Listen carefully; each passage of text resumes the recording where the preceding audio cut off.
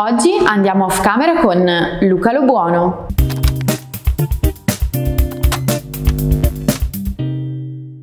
Buongiorno Luca, ben arrivato. Buongiorno. Buongiorno, ciao. Buongiorno. Sappiamo che sei trafelato di corsa perché stai gestendo tutto in questi giorni e quindi sì. ti vediamo come siamo in un'ambientazione più in movimento. No? Sì, vi chiedo scusa per questo, ma purtroppo i impegni sono sempre di più. Diciamolo prima che... In realtà in autostrada che spreccia. no, no. Allora, la prima domanda è una domanda che per noi è ricorrente e quindi volevamo chiederti, ma quando diciamo, ti sei accorto che nella tua vita, grazie diciamo, al lavoro che stai facendo, qualcosa era cambiato, che eri diventato riconoscibile?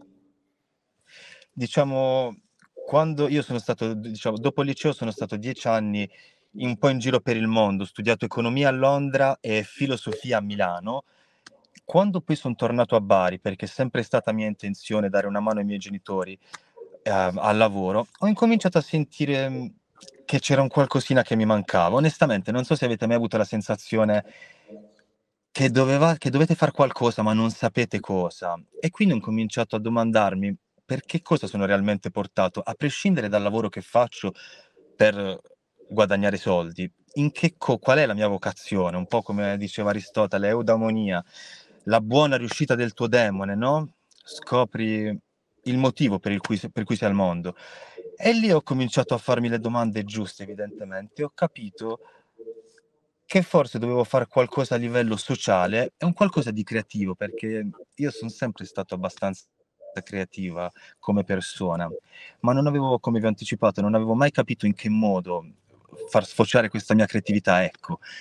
E poi mi ero, proprio diciamo due anni fa, mi ero appassionato a un ragazzo che faceva video emozionanti, io ho sempre amato i video emozionanti, mi svegliai il 4 gennaio con la mia fidanzata e le dissi, Alessia, credo di aver capito cosa devo fare.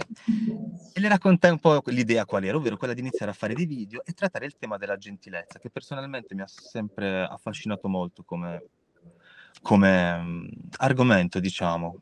E, e, così un po' è nato il tutto, ecco. Allora, io ehm, ti racconto subito questa cosa. La prima volta che ho visto i, i, video sul tuo profilo, e ne ho visti tanti in sequenza, una roba buchista, e a un certo punto ero una valle di lacrime.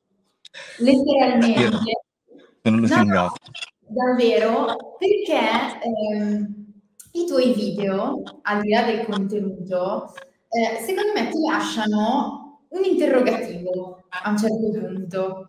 Cioè, tu li guardi e dici, ma effettivamente tutti potremmo trovarci in quella situazione. Come reagiremmo in quella situazione? Ecco, me ne accorgerei.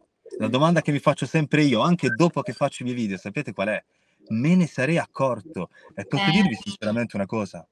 No. Sì, io per, sì. Io per, sì, ma per il tipo di persona che sono io, okay. sono sempre estremamente attento, tanto che sono sempre stato molto affascinato dal comportamento umano in generale, sia dei miei amici sia delle persone che non conosci, ma insomma, personalmente me ne sarei accorto, però almeno nelle situazioni che, delle situazioni che creo io, io me ne sarei accorto, ecco. Poi, eh, veramente... Vabbè, è una riflessione interessante in realtà, perché io non lo so, mm. non lo so. Cioè forse in certe situazioni sì, in altre no. Ovviamente Però... può capitare, può capitare di, non, di essere distratti, ovviamente, in, in, un determinato momento, ma su per giù sono tutte situazioni estreme quelle che creo io. Cioè, mm-hmm. insomma, le noti. Il, il, tipo, il tipo di situazione che creo è mirata ad essere notata, quindi mi piace pensare che me ne accorgerei, ecco. Ok, io non lo so, io rimango col dubbio perché quando mi sono interrogato ho detto, mm, sai che non so se me ne sarei accorta. Boh. Però io ho una curiosità. Ora, tu ovviamente quello che posti è il risultato positivo di quello che sì. fai, perché ovviamente tu posti sempre il, il lieto fine. Però tu ti metti anche in situazioni in cui, ad esempio, non so, magari non tutti hanno, hanno visto tutti i tuoi video, però tu ti metti fuori da un supermercato dai una banconota da 50 euro a una persona e gli dici mi compri, io non, non ci vedo, ok, sono un ragazzo non vedente, mi prendi un, una scatola di cioccolatini. Ti è mai capitato che non tornassero? Sì, mi è capitato, abbiamo pubblicato i video e ce li hanno fatti togliere. Perché Eh. all'inizio io, diciamo, quando ho iniziato non è che non ero un content creator professionista e non ero neanche, ehm, diciamo, al- all'inizio pubblicavamo un po' tutto e quindi magari facevamo fare anche qualche brutta figura alle persone ed è- sono sempre successi problemi. Io, a- me, io volevo semplicemente inizialmente raccontare proprio la realtà delle cose, di come andavano, però poi ti rendi conto che ovviamente quando tu fai video devi chiedere, mh, insomma, devi tutelare la persona che hai ripreso e non puoi mettere, purtroppo non puoi pubblicare scene del genere perché chiaramente le persone ti contattano e te lo fanno togliere. Certo. E quindi ora, in- ormai, eh, sì, come hai detto tu, pubblico, cerco di pubblicare la, la parte più bella delle persone, cerco sempre di lasciare un messaggio positivo, anche se non vi nego che mi piacerebbe descrivere e pubblicare realmente tutto quello che accade quando facciamo degli esperimenti sociali, perché credetemi, fa riflettere tanto. Ci sono alcune situazioni che non immagineresti mai, cioè abbiamo vissuto situazioni che, che non puoi raccontare a nessuno. Ma in Però- proporzione sono più gli esperimenti riusciti o quelli falliti?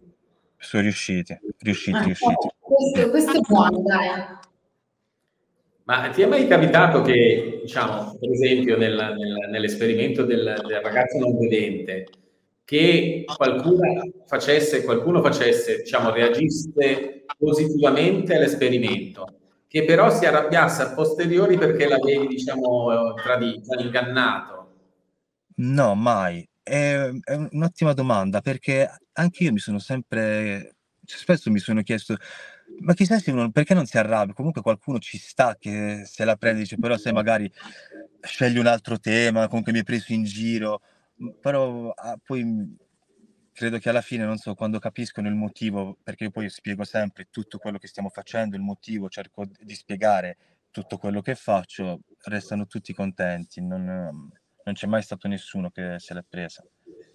Ecco, a me, ad esempio, eh, mentre guardavo un video, mh, mi è capitato di pensare, oddio, adesso si arrabbia tantissimo, perché ad esempio c'era stato un, un signore, non mi ricordo adesso bene la circostanza, che comunque aveva anche lui un nipote, un figlio, un parente non vedente, e quindi quando ha detto quella cosa lì ho detto, oddio, adesso lui ci rimane malissimo, e invece no. Il signor Nicola, il signor Ah. Nicola, che tra l'altro è incredibile, che tra l'altro ho anche rincontrato un paio di settimane fa, proprio a quel supermercato. Sì. Sì, che lui era stato carinissimo perché aveva detto no, non lo farei mai perché Posso dire una cosa? insomma. Sapete che mi sono fatto una capa di piante, anche, mi sono emozionato anche io quando mi sono rivisto quel, quel video dopo qualche giorno. Ah, Era, è stata una bomba di emozioni. Quella persona, quel signore è magico. Il signor Nicola è magico. Sì, sì, sì. No, Sì. io faccio, cioè veramente adesso piano piano ci ho fatto il callo, però la prima volta che li ho visti ero veramente una valle di lacrime, infatti poi sono tornata in ufficio il giorno dopo, lui testimone, gli ho detto lui lo intervistiamo perché io Grazie. piango come una fontana. Grazie. Però è vero, è stato, è stato super forte, devo dire. Cioè, la prima volta che li guardi non sapendo quello a cui stai andando incontro è veramente forte. Non te lo Beh, aspetti. Ma in- Davvero. invece, diciamo, eh, avendo tu, cioè sfiorando tu un certo tipo di eh, degrado, eccetera, situazioni invece pericolose per te?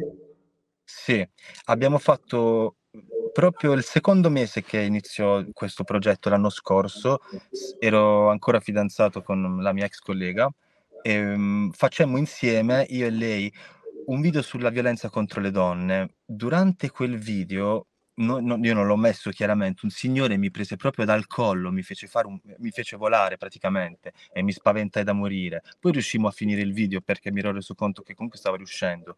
Ma quel signore, fortunatamente c'era gente, ma mi fece praticamente cadere per terra e mi tirò da dietro perché stavo ricreando una situazione in cui io strattonavo Alessia, la mia ex fidanzata. Sì. Ehm, quel giorno mm, mi sono un pochino spaventato.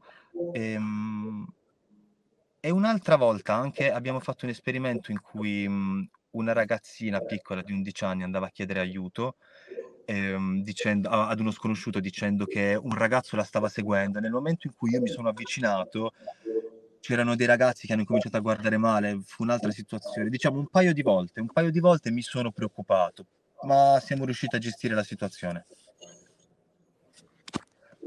Eh, perché immagino, immagino sia, cioè, è una frazione di secondo che succede.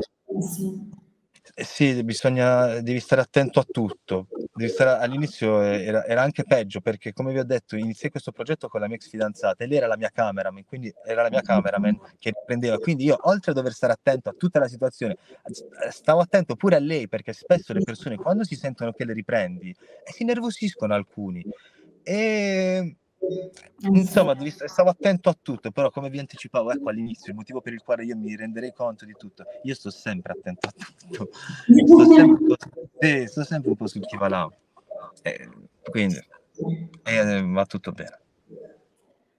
Senti, immagino che diciamo, nel, nell'ambito dei tuoi follower, chi ti segue, eh, ci sia diciamo, una distanza più ravvicinata verso di te, nel senso che eh, visto il lavoro che fai, si sentano più vicini e magari che si, diciamo, abbiano nei tuoi confronti un, un atteggiamento molto più intimo. No? Come riesci a, a, a, diciamo, a mantenere un po' la, la privacy, la distanza? Ehm, allora, devo essere sincero, io non sono proprio, sono all'inizio di, di questa esperienza. Ehm, non è non non mi sono mai domandato se mantenermi dista magari non parlo, ecco, magari delle de delle faccende familiari, non so, però cerco di essere più o meno il più trasparente possibile. Non c'è qualcosa che non ho detto per il momento. Ho ho ho parlato del mio lavoro tipo nelle storie ogni tanto. Non ho parlato di una mia grande passione, ovvero quello che sto lavorando proprio in questo momento. Ehm, vabbè, posso dirvelo, io sono una mi piace scrivere poesie. Questo è ah, spoiler, eh, questo è spoiler. Mi piace scrivere poesie da tanto. Ehm, queste poesie stanno per diventare delle canzoni. O per meglio dire, stiamo iniziando a lavorare a un progetto musicale che mi piacerebbe tanto realizzare, tanto. E quindi Bello. spoiler. Esclusiva. Sì.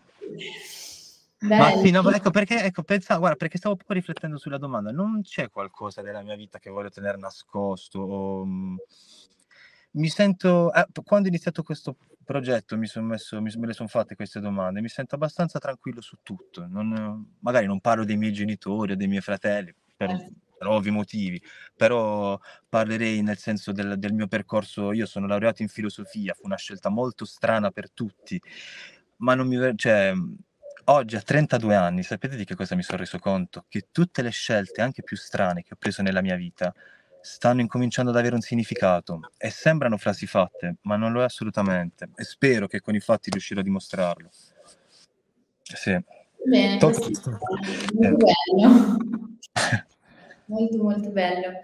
E senti, io ho un'altra curiosità. Un altro tipo di video che tu fai è ehm, quello di andare a portare ehm, insomma qualcosa, spesso è, è, da mangiare, oppure dei fiori ai senza tetto, oppure alle persone che lavorano in cantiere. Insomma, sì. il problema è che tu arrivi nei negozi e chiedi tipo, so, 500 ruote di focaccia, oppure 500 cose che hai chiesto a un fioraio la faccia delle persone che, ti, che sono dietro al bancone è sempre epica. È bellissimo. cosa. È bellissimo, onestamente ci facciamo sempre... E sì, tu arrivi a sorpresa quindi, cioè proprio tv verità quella lì. Sì, sì, sì, sì, sì. Guarda, io ho sempre pensato, le persone che lavorano nei locali fanno il posto, perché tu puoi vendere le cose più buone, puoi, puoi, preparare le cose più buone, non so, ma se il tuo personale non è gentile, non si sa comportare, tu non ci torni più in quel posto. Quindi secondo me il personale fa il posto. No, no, incredibile. sono incredibili perché all'inizio è sempre un, cioè quasi sempre è, no, ce la farò mai, è una quantità fuori da ogni logica. Poi però alla fine trovano comunque sempre l'escamotage, la via di mezzo per accontentarti, no? Eh, Quindi, è... sì, perché io gli dico il massimo che hai, così non si sentono più in difficoltà, perché magari la domanda iniziale ti mette un po' in difficoltà. Oh, sì. poi diciamo il massimo decidi tu. Ehm, sì. È carino questo, ma io questo video l'ho provato per la prima volta due settimane fa. Ah, ok, è nuovissimo. Sì, sì. Ehm, siamo divertiti. Poi sono sempre tutti contenti perché non se l'aspettano, è sempre una sorpresa un po', no? Per tutti. Sì. Sì, sì, sì. Poi secondo me è una tematica, cioè eh, anche per te, no? Che sei il, il creator in questo caso, eh, n- non credo sia facile. Come? Scusate. Per te che sei il creator, sì. non credo sia facile eh, cercare di portare sempre contenuti nuovi su questo tema. Cioè tu comunque spazi parecchio perché hai, non so, sei passato dalla banconota lasciata per terra con la scritta sì. prendimi solo se ne hai bisogno, insomma una cosa del genere, all'esperimento con il, il ragazzo non vedente, quindi comunque non, non è facile anche no. cercare spiegarsi sempre. E posso dire, sono contentissimo che tu l'abbia notata e che sia, tu sia la prima persona che evidenzia questo aspetto, perché questa fu una scelta, cioè praticamente più o meno è stata una scelta tanto tempo fa quella di cercare di uscire costantemente con format, se si possono chiamare così, o mini format nuovi, perché mm-hmm. non ti annoi mai, perché non ti abitui mai. Invece io che sono sempre stato appassionato magari anche ad altri ragazzi, ad altre pagine, a un certo punto è difficile non essere ripetitivo. Quindi l'unica soluzione è quella che Vabbè, è diciamo questo modo che io ho pensato di, di affrontare, questo modo che ho pensato, no? Crei anche la, la, il risultato opposto, cioè dopo un po' che non vedi uno dei tuoi esperimenti dici ma non lo fa più e quindi tu, cioè, capito, innesti il, il ragionamento opposto.